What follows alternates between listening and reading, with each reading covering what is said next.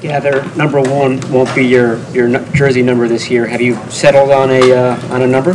No, not yet. I haven't even thought about it, but uh, yeah, figure that out later. Nick, what have these 24 hours been like for you? Uh, hectic. Um, since the pick, you're pretty much running around making the rounds media. It's with you in Nashville, and uh, yeah, flew flew out early this morning, so haven't got much rest, but it's all good. Has this, has it been emotional for you? When I saw the emotion your brother showed, did that surprise you? And how have your own emotions been? Yeah, I mean, you there's moments where your emotions get you. Like when I got to my after party and was hanging out with all my friends and family. That's when you really, um, when it sinks in. Um, when you're getting attacked by media and going around, it's kind of like you kind of suppress your emotions for that time. But uh, I mean, just it was great to experience that all with my family. Did Joey's reaction surprise you? No, he's an emotional guy. Under that rough exterior. I saw the, the video where I think it was the moment you found out, that seemed like a particularly emotional moment. What, what was going through, through your mind, um, you know, for those 30 seconds right after you found out? Um, relief, um, just excitement. Um, kind of like everything flashes before you, like all the work you put in um, to get there. It's, I mean, I couldn't be happier with um, where I ended up. So that made me even more excited. Like you don't try and get too um, committed to one team in the process, but I was I was all in to come here. I was really excited. So um, yeah, just all those emotions hitting you at one time. Nick, what kind of background did you do on the 49ers, uh, just in terms of the story of the legacy here with the franchise and and the roster that's, that they have in place, the line you're joining? Yeah, I mean, I think it's the best roster um, for any team that's picking that high. Um, obviously, they had the injury last year, which allowed them to pick that high. So I think it's it's pretty awesome that I'm joining a team that's already um, assembled a pretty darn good squad. So, and I mean, just playing here, seeing the Super Bowl trophies around, uh, it's definitely pretty cool. You got injured, when you got injured in October, were you worried that that was at stake? That being drafted high now was, was uh, at risk at that point? Um, yeah, I mean, whenever an injury happens, uh, a lot of bad things go into your mind. Um, whether I'd be back that year, my Ohio State career was over, um, if I wasn't going to be as high a pick as I hoped, uh, all those things. But uh, once you think it through with your family and talk to the, people you care about, um, you kind of set up a plan, and uh, you just have to think positively after that.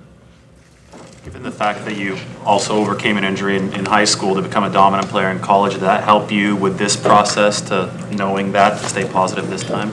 Yeah, I mean, um, it could seem like the end of the world for somebody whose life is so um, dependent on football and um, revolves around football. So um, it's definitely tough, but um, like I said, just just even giving my high school coaches a call, talking it through with them, um, it, it makes a it, it makes getting through it a lot easier.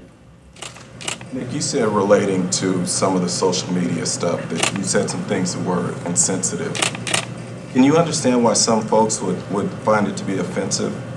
What was said? Definitely, yeah. I mean, I definitely made some um, insensitive decisions throughout my life, and uh, I'm just excited to be here with a clean slate. Um, I'm sorry if I hurt anybody. Um, I, I definitely didn't intend for that to be the case, but um, I think me being here is even better for me as a person because I don't think there's anywhere, any city that you could really um, be in that would help you grow as much as this one will. Um, I'm going to be surrounded with people all, all different kinds, so um, I'm going to grow as a person and I'm going to be on my own. College, you have kind of like that. Um, you still have that support system around you. Now I'm here. I'm going to be on my own. I'm going to grow up. I'm going to learn a lot of new things. So um, excited. You- said about Colin, you called him a clown. Um, And as a black man who was giving a voice to people who don't have a voice, um, do you still feel that same way? Um, no, it wasn't directed towards that. Um, it's not like I'm saying his stance and what he was doing.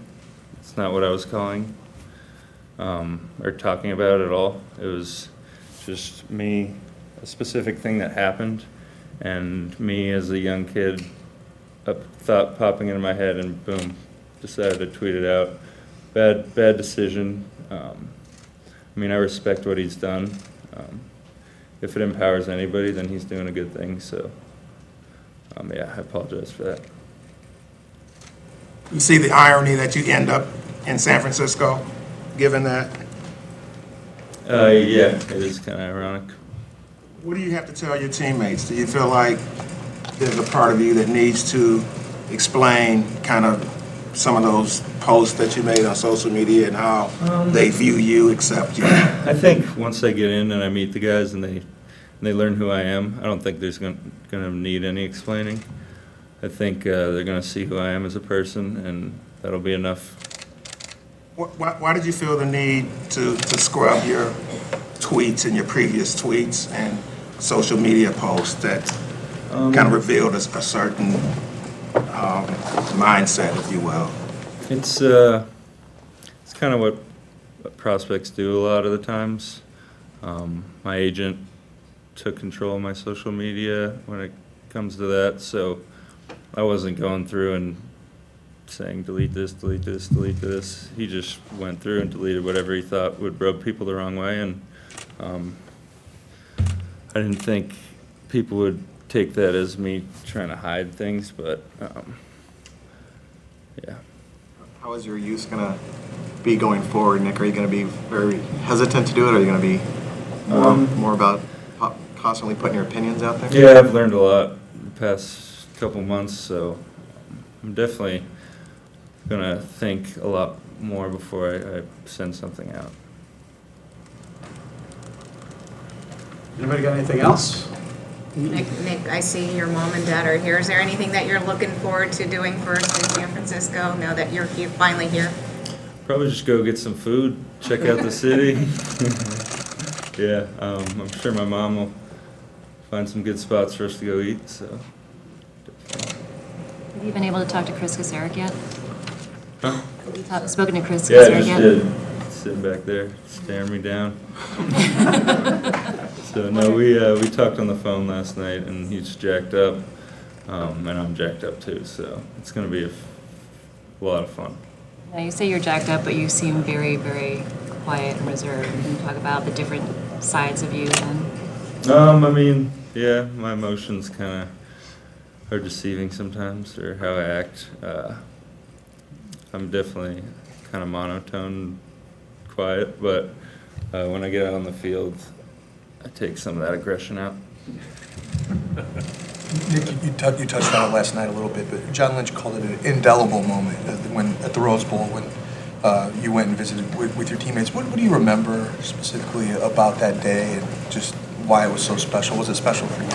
I mean, when you're, whenever you're around your college teammates um, for so many hours of the day, you go through camp together, you go through a season together, or multiple seasons together, you, you just build a really close bond. And when you aren't with them for an extended period of time, it's kind of weird. And uh, just after months of not seeing them, just to see all my teammates was really awesome, and see all my coaches. So. Um, I just love all those guys, so to see them again was great. And then I got to meet with uh, Adam and John, so it was a little foreshadowing. And and that was your first introduction to them? Yeah. What what did you guys talk about? Um, just um, trying to think back. I think it was just like a friendly conversation. Yeah, talked about some of the guys on our team that they might be looking at. Nick, were you uh, surprised by, I mean, John, it was so indelible just because everyone kind of stopped practice. and Urban Meyer generally doesn't let that happen. Um, Were you surprised by that reaction in the moment? No, I mean, I think uh, I was a pretty big part of the team, and uh, I think I built a lot of really good relationships there. So um, I was hoping for a good reaction. Spending all that time with your brother in Southern California, is there, is there anything specifically you picked on in term, picked up on in terms of being a professional and what the, everything away from the field, that mindset is gonna, is gonna look like for you? Yeah, just uh, maintaining your body, eating right. Um, he's got a chef out there, so she's she's amazing. She cooks, comes over like once every couple days. So just the nutrition and maintenance. He has a gym in his garage that he built, so um, just constant maintenance throughout um, the NFL season is key. How, I, I assume you're happy to, to be, you know, a short plane right away. I mean, does it, does it mean anything to you to, to be close in the same state? Yeah, definitely. I mean, whenever we have some off time, I could just zip down there and go hang out with him. So it's definitely better than me being across the country and not being able to see him for months on end. Do you view your game as similar to his? And if there's a, a big difference, what do you think it is between the two of you? I think we play pretty similar. Um, I think we're both, um, we use speed and power, and we're not one-dimensional players, so I think, yeah, we have a lot of similarities in our game, but um, I'm just excited to start my own journey and show off some of my at- attributes. Couple more? Could you have uh, returned and played last year? Yeah, I was, it was a season ender for sure. While while you're rehabbing, uh, how much NFL did you get a chance to watch? And did you watch D Ford and, and DeForest Buckner uh, in the Yeah. games last year? He was uh, on the Chiefs, so he played Joey twice. So I was watching him. Uh, I, I like what he does. He's really, really great speed rusher, and um, he switches it to power, and he'll knock you on your butt.